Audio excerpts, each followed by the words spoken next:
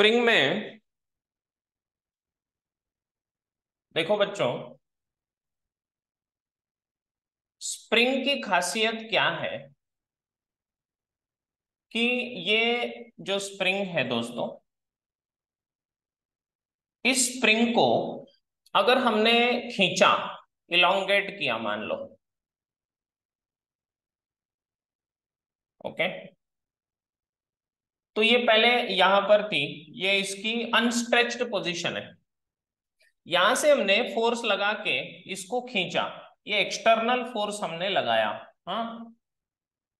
तो हमने जितना एक्सटर्नल फोर्स स्प्रिंग को लगाया, उतना ही इक्वल एंड अपोजिट फोर्स उसके अंदर सेटअप हो जाता है हाँ। उसको कहा जाता है स्प्रिंग फोर्स ओके तो स्प्रिंग फोर्स जो है, इसको एफ़ आर रिस्टोरिंग फोर्स कहा जाता है। ये एफ़ आर का मतलब है रिस्टोरिंग फोर्स रिस्टोरिंग क्यों बोलते हैं इसको? रिस्टोरिंग का मतलब है कि हमने बाहर से इसको, इसका शेप बदलने पर मजबूर कर दिया तो ये अब अपने शेप को साइज़ को ओरिजिनल पोजीशन पे लेके आने के लिए रिस्टोर करने के लिए फोर्स लगता है। इसको कहा जाता है रिस्टोरिंग फोर्स रिस्टोर है ना? फिर से वापस अपनी जगह पर लाना, ऐसे फोर्स को रिस्टोरिंग फोर्स कहा जाता है। ये रिस्टोरिंग फोर्स न केवल इलांगेशन में लगता है, बल्कि अगर हमने इसको कॉम्प्रेस कर दिया, अपने ओरिजिनल पोजीशन से तो ये इसकी ओरिजिनल पोजीशन थी। यहाँ से हमने इसको दबाया तो ये अंदर आया तो एक्सटर्नल फोर्स लगा इधर तो इसके एग्जैक्टली अपोजिट डायरेक्शन में कौन लगेगा? रिस्टोरिंग फोर्स लगेगा। ये बात समझ में आई कि नहीं आई बोलो। Yes, समझा करे Yes, sir.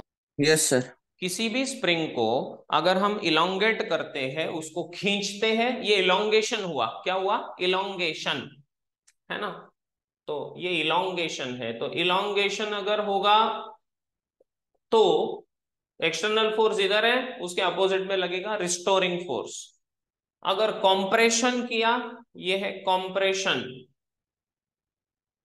तो कॉम्प्रेशन में भी हमने एक्सटर्नल फोर्स लगाया टुवर्ड्स लेफ़्ट तो रिस्टोरिंग फोर्स लगा टुवर्ड्स राइट हम्म तो रिस्टोरिंग फोर्स का जो डायरेक्शन है तो वो एक्सटर्नल फोर्स के अपोजिट में होता है, या फिर ऐसा भी बोल सकते हो कि it is towards this position called as mean position ठीक है? नाउ अब स्प्रिंग में ये देखा गया स्प्रिंग की एक खास प्रॉपर्टी है कि इसका ये जो पोजीशन है, ये मीन पोजीशन है इसका। ठीक है? मीन पोजीशन मतलब जहाँ पर वो इलोंगेटेड भी नहीं है कॉम्प्रेस्ड भी नहीं है रिलैक्स्ड पोजीशन मीन पोजीशन मतलब रिलैक्स्ड पोजीशन है इसकी. ओके ये रिलैक्स्ड पोजीशन या मीन पोजीशन से इसका डिस्प्लेसमेंट अगर है, मान लो एक्स हमने इसको आगे खींचा. कितने से? एक्स इतने डिस्प्लेसमेंट से खींचा. तो ये देखा गया कि डिस्प्लेसमेंट हुआ राइट में रिस्टोरिंग फोर्स लगा लेफ़्ट में। तो it was seen that restoring force is directly proportional to minus of x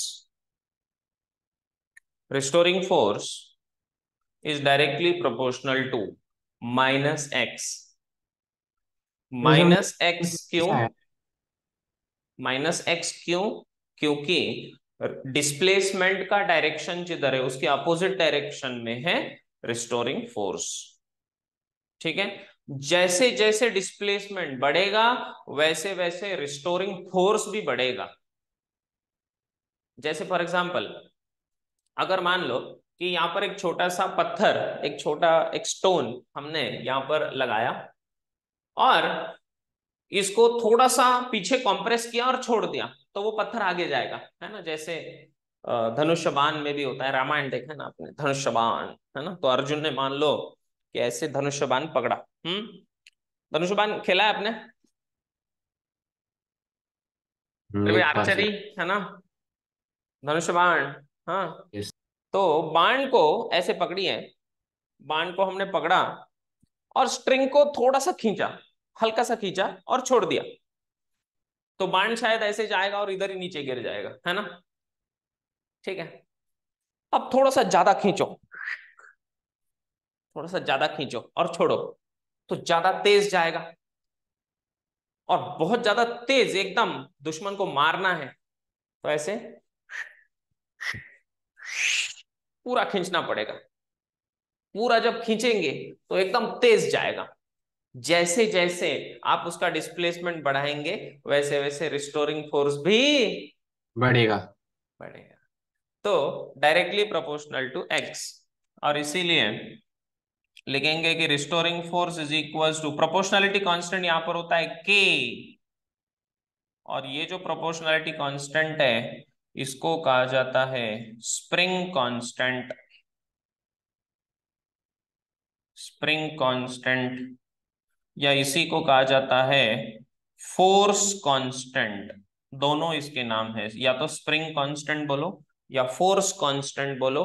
force constant of spring ऐसा भी इसको कहा जाता है। ठीक है? तो ये है स्प्रिंग का अंडरस्टैंडिंग ओके मतलब अगर हमने स्प्रिंग को अभी कंप्रेस किया तो भी एक्स नेगेटिव आएगा नेगेटिव ही लेना पड़ेगा। फिर से पूछ ज़ोर से पूछ। सपोज़ हमने स्प्रिंग को कंप्रेस किया तो हाँ। एक्स को नेगेटिव ही लेना पड़ेगा। पॉजिटिव आएगा ना वो अभी पॉजिटिव डायरेक्शन में आएगा ना। हाँ तो एक पॉजिटिव एक निगेटिव ही रहेगा ना। मतलब कंप्रेशन के वक्त पॉजिटिव और इलोंगेशन के वक्त नेगेटिव हाँ तो उसका डायरेक्शन अलग है ये कहने का मतलब है। उनका दोनों का डायरेक्शन अलग अलग है। सर मतलब हमेशा एक्स माइनस ही लेना है क्या? नहीं ऐसा कुछ नहीं है। नहीं ना? ऐसा कुछ यस सर वो स्प्रिंग का और एक डाउट था वो भी पूछो क्या? एक क्वेश्चन उसका और एक थर्ड लॉ में। हाँ चल ना लिखना पहले। यस सर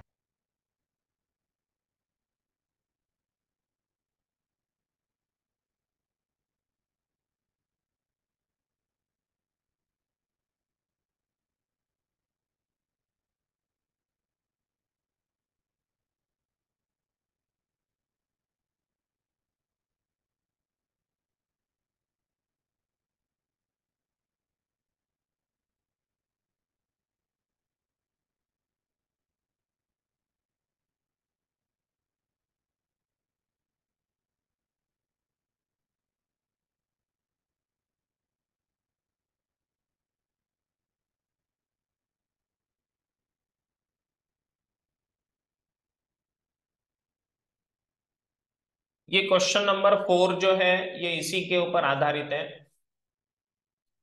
कि हमारे पास W two W and three W ऐसे वेट्स हमें दिए हुए हैं, जो आइडेंटिकल स्प्रिंग्स को कनेक्ट किए हैं।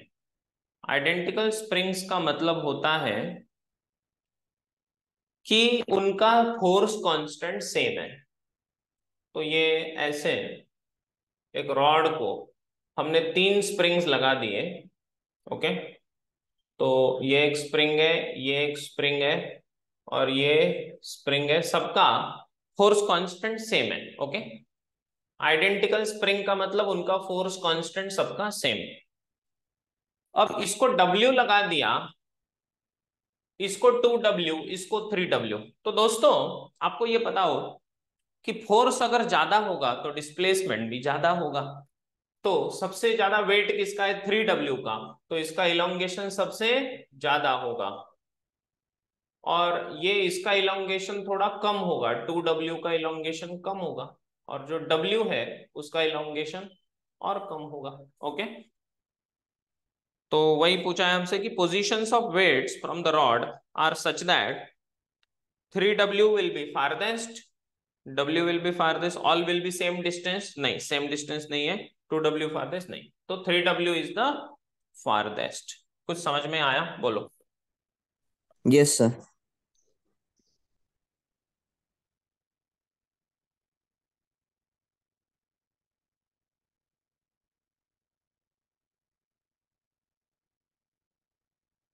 yes sir समझा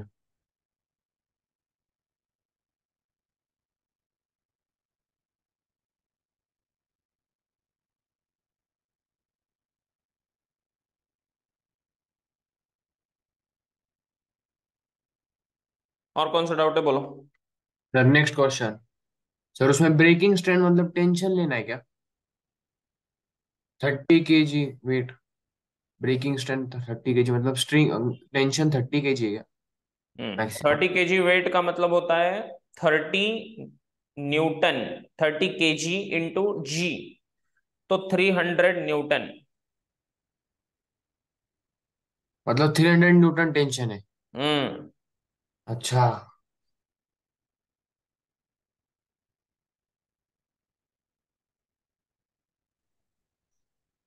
थर्टी के जी वेट ऐसा लिखा जाता है तो उसका मतलब होता है कि थर्टी के जी मास का weight.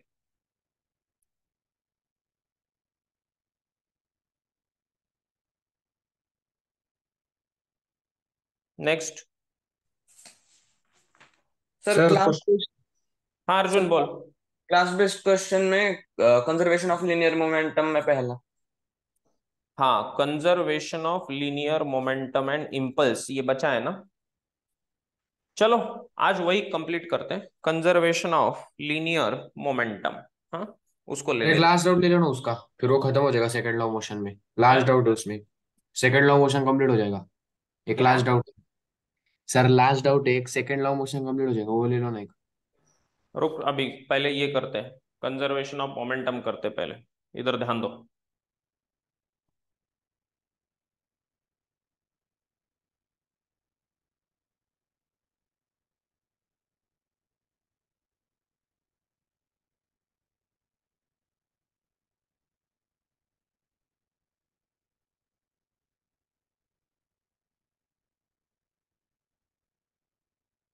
डाउट्स में सारे ले लूँगा डोंट वरी डाउट्स सारे हो जाएँगे आपके।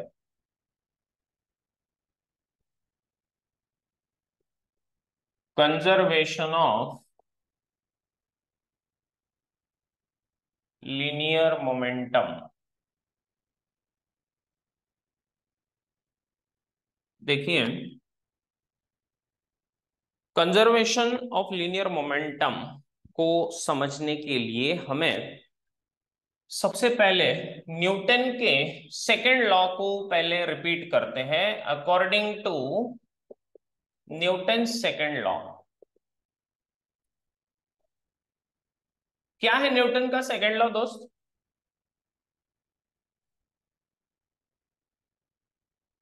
बोलो। न्यूटन का सेकेंड लॉ क्या है? बोलो ना।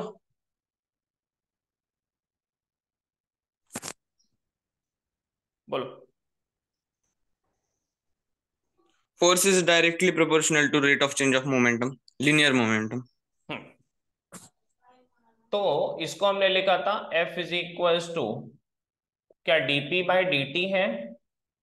Yes sir dp by dt है ठीक है? DP by dt change in momentum upon change in time change in momentum upon change in time तो दोस्तों, अगर एक्सटर्नल फोर्स जो एक्ट हो रहा है बॉडी के ऊपर, वो बॉडी का मोमेंटम चेंज करता है अलोंग विथ टाइम हाँ मोमेंटम बदलता है। तो दोस्तों, मुझे एक बात बताओ कि if the external force on system is zero अगर एक्सटर्नल फोर्स लगना बंद हो गया, F इज़ इक्वल्स टू अगर ज़ीरो है तो इसका मतलब change in momentum upon time is also zero तो change in momentum upon change in time become zero yes और नो बोलो। तो ये dt इसके साथ मिल जाएगा तो इसका मतलब change in momentum equals to zero change in momentum हुआ ही नहीं। मतलब मोमेंटम बदला नहीं मोमेंटम बदला नहीं मतलब मोमेंटम कॉन्जर्व रह गया। कुछ बात समझे? यस सर कि जब अपने सिस्टम का मोमेंटम बदला ही नहीं। तो मोमेंटम अगर नहीं बदला तो इसका मतलब हुआ कि फोर्स एक्ट नहीं हो रहा है। फोर्स ज़ीरो है मतलब मोमेंटम नहीं बदला मतलब initial momentum equals to final momentum तो इधर लिख देते हैं कि initial momentum P I equals to final momentum P F तो इसका मतलब इनिशियल और फाइनल मोमेंटम जो है मोमेंटम का फॉर्मूला क्या रहता है generally into velocity mass mass into velocity हाँ? मास इनटू वेलोसिटी इसका मतलब ये हो सकता है कि भले उसके अंदर मास और वेलोसिटी जो है जो मोमेंटम है अपना मास इनटू वेलोसिटी इसमें ऐसा हो सकता है कि शुरुआत में मास इतना था वेलोसिटी इतना था। आगे जाके ये इसको अपन एम वन वी वन या इनिशियल को अगर बोलना है तो एम आई है ना? वी आई इनिशियल ओके ऐसा भी बोल सकते हो। तो ये इनिशियली जैसा था अब फाइनल में शायद मास चेंज हो सकता है, शायद वेलोसिटी चेंज हो सकती है, लेकिन दोनों का प्रोडक्ट वो सेम रहेगा। इसको कहते हैं कंजर्वेशन ऑफ़ मोमेंटम बात समझ में आई? राइट कि किसी भी सिस्टम के अंदर शुरुआत में किसी पर्टिकुलर सिस्टम को पहले कंसिडर करें हम तो उस पूरे सिस्टम का मोमेंटम शुरुआत में जितना था फाइनली भी उतना ही रहेगा। अगर उसमें बाहर से कोई फोर्सेस एक्ट नहीं हो रहे हैं तो इसका मतलब क्या? अंदर एक इंटरनली भी फोर्सेस हो सकते हैं क्या? यस सर हाँ तो इंटरनली फोर्सेस हो सकते हैं। और इसीलिए कंजर्वेशन ऑफ़ मोमेंटम का मतलब है कि एक्सटर्नल फोर्स अगर ज़ीरो है तो मोमेंटम कॉन्जर रहेगा। इंटरनली भले ही फोर्सेस हो। चलो तो ये लिख लो फटाफट से। तो इसको सॉल्व करते हैं। बस भी बोल दो सर इम्पल्स हम्म? पल्स अबे लिखना क्या पढ़ाना है क्या नहीं मैं बताता हूँ ना। थोड़ा धीरज रखते जाना। नहीं सर वो सॉल्व कर रहा था इसलिए बोल रहा हूँ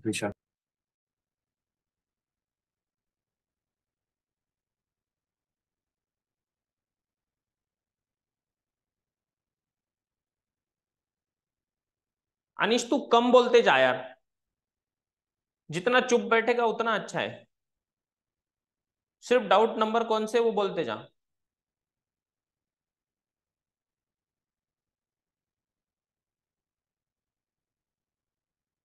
यस सर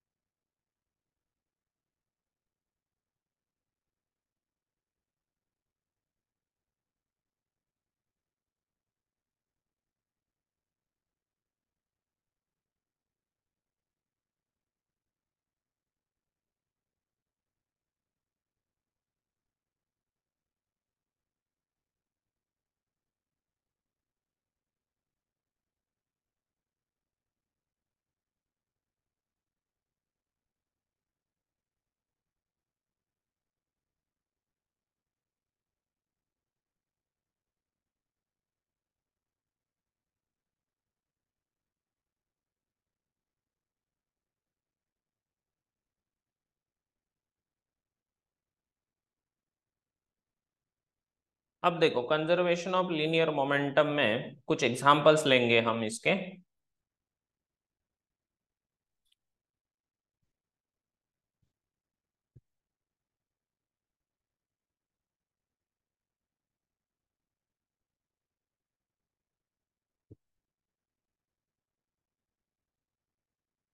अब इसके एग्जांपल्स को अच्छे से समझना होगा हमें। ध्यान से सुनो, लिख के हो गया। तो एकदम फटाफट लिखना है ओके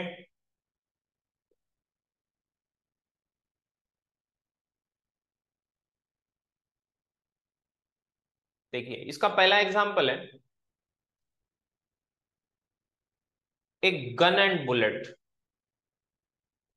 फिर से गन और बुलेट पे वापस आए हम ओके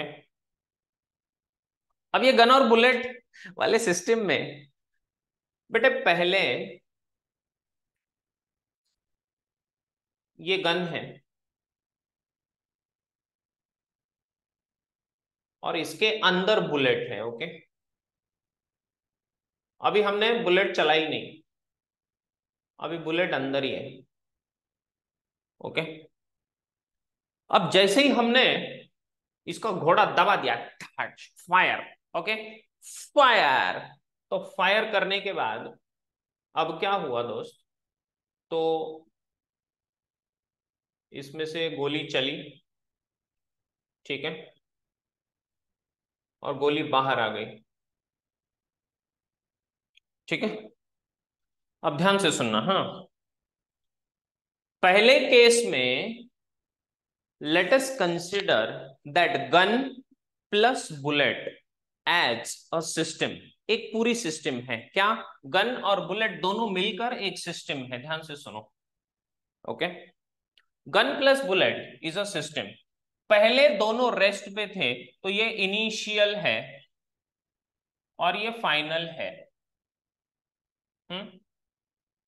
तो दोस्त, इनिशियली गन और बुलेट दोनों रेस्ट पे है तो इनिशियली इनका जो मोमेंटम रहेगा, पी आई मतलब इनिशियल मोमेंटम, क्या वो ज़ीरो है? हाँ ज़ीरो है। समझे? ओके इनिशियल मोमेंटम इसका कितना है? ज़ीरो ओके बहुत अच्छी बात है। अब फाइनल की बात करते हैं। अब जैसे ही गोली चले तो अब उस सिस्टम का एक पार्ट है बुलेट और दूसरा पार्ट है गन तो बेटा बुलेट जो आगे चली, ये जो आगे चल रही है, इसकी वेलोसिटी है मान लो V B velocity of the bullet और इसका मास है मान लो एम बी और गन का जो मास है, वो है एम जी और गन पीछे की तरफ़ रिकॉइल करती है तो उसकी वेलोसिटी है वी जी तो ये तो मैंने बताया था आपको कि जैसे ही अपन गोली चलाते हैं तो गोली चलाने पर बंदूक ऐसे थोड़ी सी पीछे आती है ना? यस और नो ठीक है? तो उसको कुछ वेलोसिटी मिलती है पीछे की तरफ़ राइट तो सेकेंड केस में पूरे सिस्टम का जो फाइनल मोमेंटम रहेगा वो कितना रहेगा? तो वो रहेगा momentum of the bullet plus momentum of the gun तो मोमेंटम ऑफ़ द बुलेट कितना है बोलो दोस्तों? Momentum of bullet M M V B M V M B into V B M B V B bullet का momentum M B V mass into momentum का फ़र्क था mass into velocity और gun का मोमेंटम कितना दोस्तों?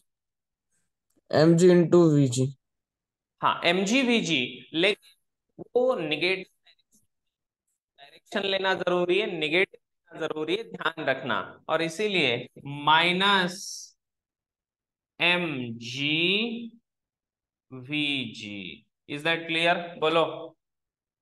Yes yes sir अब according to the conservation law यहाँ पर गोली के ऊपर फोर्स गन ने अप्लाई किया।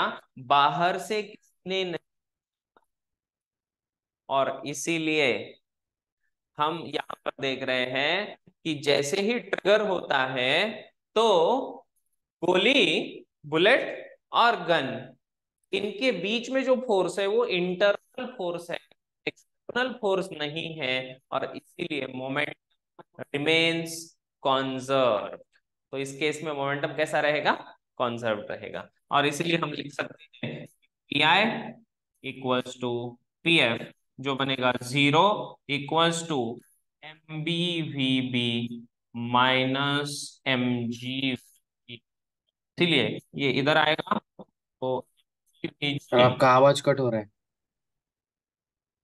मेरी आवाज़ नहीं आ रही क्या? No sir. तो देखिए फिर से बताता हूँ। अर्जुन सर बीच बीच में स्लो हो जाती है आवाज़। अच्छा। तो इसीलिए हमने P I equal to P external force नहीं, इसके कारण एक्सटर्नल फोर्स नहीं होने के कारण P I equal to P F और ये दोनों को मैंने इक्वेट कर दिया तो ये माइनस वाला क्या तो सर अभी भी कट हो रही है। फिर समझो ना zero zero equal to sir आवाज़ नहीं आ रही आपकी। Equal to zero hello hello hello hello yes sir hello ये equal to zero P I zero P F ये इसको इधर लेके आओ। यस सर हो गया। समझा? यस सर लिख लो।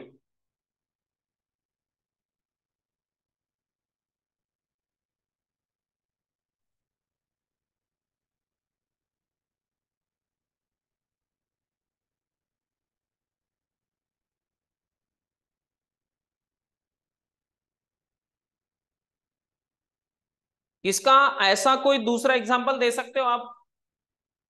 यस सर बोलो। सर बॉम्ब बॉम्ब जब फूटता है तब अ, अगर एक पीस वेस्ट को गया तो दूसरा पीस को ईस्ट को जाना पड़ता है। अगर एक पीस बॉम्ब का उड़ के वेस्ट को गया तो उसको ईस्ट को जाना पड़ता है ऑपोजिट डायरेक्शन में कंजर्व करने के लिए।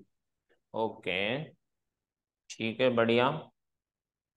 वेरी नाइस फटाफट लिख लो।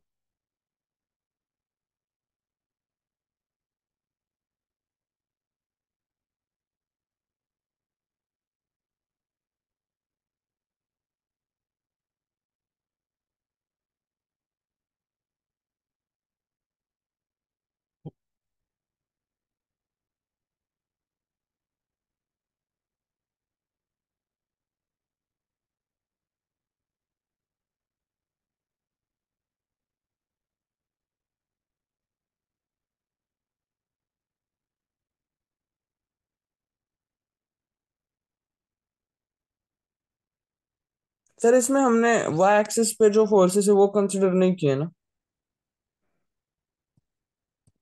वाई एक्सिस पे कहाँ पर फोर्स है? ग्रेविटेशनल फोर्स है। हाँ तो उसको हमने कंसिडर नहीं किया क्योंकि हम एक्स एक्सिस की बात कर रहे हैं इसीलिए। ओके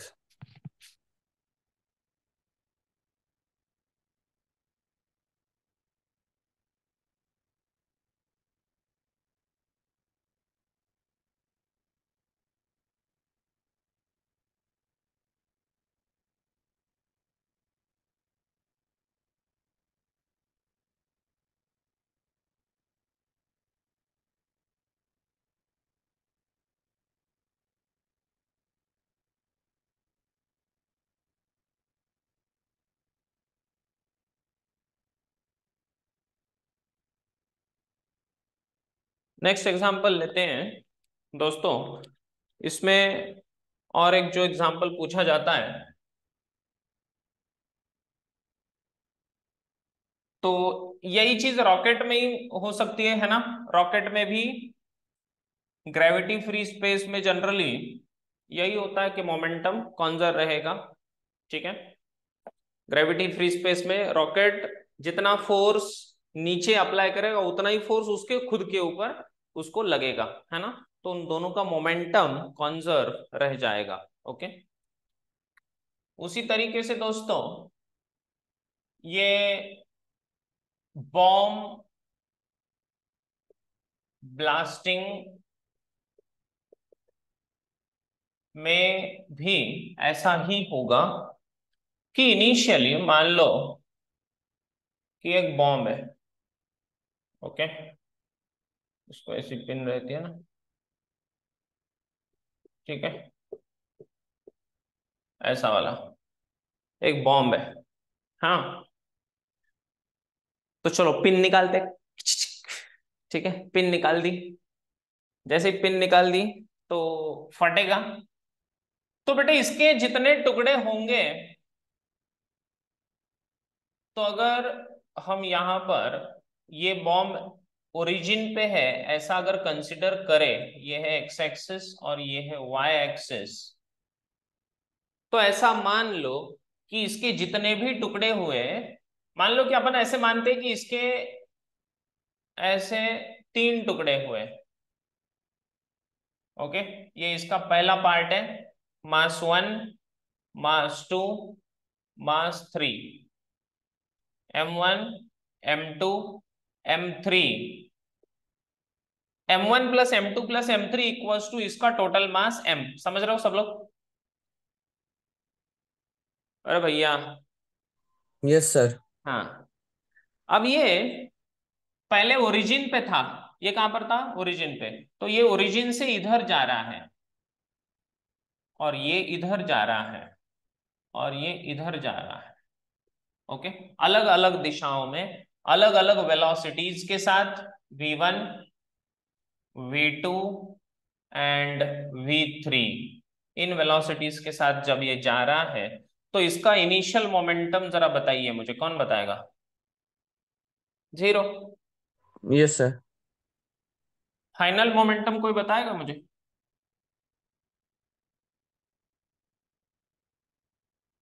क्या it will be a vector addition of p1 plus p2 plus p3 do agree yes और Yes, no sir. Final momentum vector quantity होने के कारण हमेशा ध्यान रखना है वेक्टर फॉर्म में ही लेना है। और जब ऐसे तीन टुकड़े हुए तो उस टाइम पे तो हंड्रेड परसेंट वेक्टर्स ही लेना है। जब ऐसे दो टुकड़े होंगे तो सीधा सीधा positive X axis negative X axis तो कोई टेंशन नहीं है। प्लस माइनस से चल जाता है। है ना? लेकिन जब तीन टुकड़े होंगे तो हमेशा वेक्टर फॉर्म में ही करना दोस्त।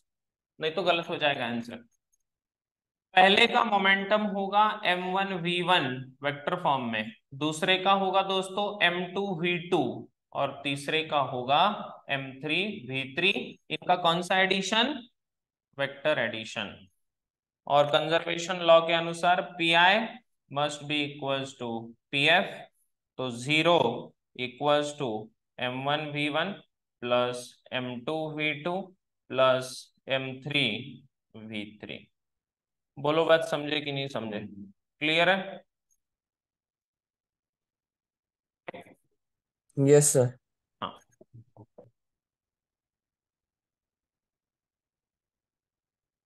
तो इसमें कभी कभी ऐसा भी किया जाता है इसी क्वेश्चन में जब ऐसे ना या ऐसा दिक्कत अगर तो थोड़ा सा इसमें शॉर्टकट यूज़ करते हैं तो वो आपकी आवाज़ कट हो रही है सर, सुनने दे रहे है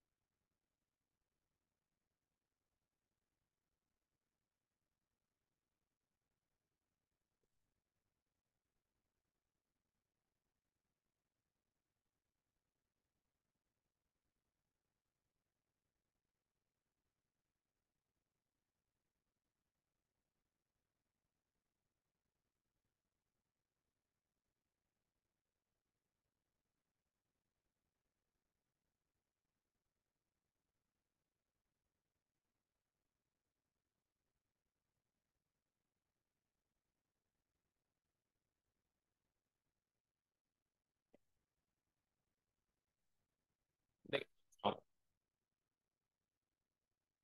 इसमें शॉर्टकट आपको मैंने दिया है, इसका कि अगर इनिशियल मोमेंटम ज़ीरो था तो क्या करना है?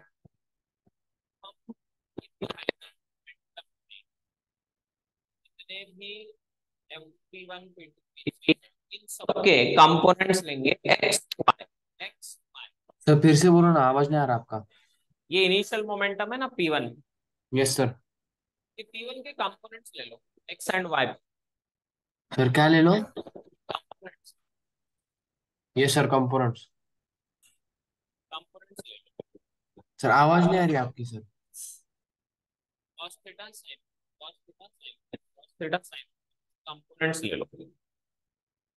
ये जो कंपोनेंट्स हैं ये कंपोनेंट्स जैसे अपन तो वैसे ज़ीरो कर दो उससे सर आवाज़ नहीं आ रही सर नहीं सुने रहा कुछ भी नहीं सर फिर से समझो ना एक बार। अर्जुन आ रही है? सर बहुत ब्रेक हो गया आ रही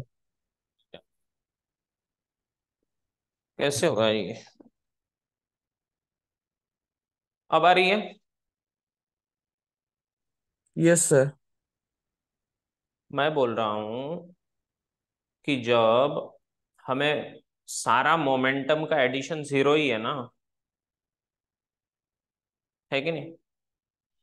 यस सर अगर सारे मोमेंटम का एडिशन अगर ज़ीरो ही है तो उनके अगर एक्स कंपोनेंट वाई कंपोनेंट लेंगे तो उनका एडिशन भी तो ज़ीरो आना चाहिए। ये बात समझ में आई कि नहीं आई? कि उनके. सारे एक्स कंपोनेंट्स ले लो। देखो पहला मोमेंटम जो है वन वी वन उसका एक्स कंपोनेंट ले लो वाई कंपोनेंट ले लो। दूसरा जो है एम टू वी टू उसका भी एक्स कंपोनेंट ले लो वाई कंपोनेंट ले लो। और तीसरा जो है एम थ्री वी थ्री उसका भी एक्स कंपोनेंट ले लो वाई कंपोनेंट ले लो। करेक्ट और ये सारे components summation of X component zero और समेशन ऑफ़ वाई कंपोनेंट्स भी ज़ीरो बात समझ में आई?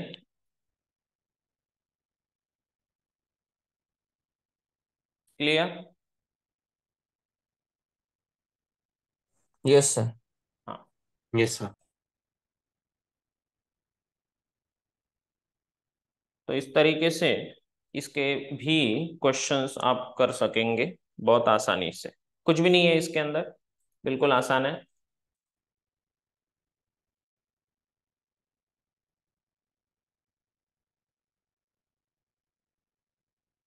इस चैप्टर का तगड़ा प्रैक्टिस करो बेटा। आज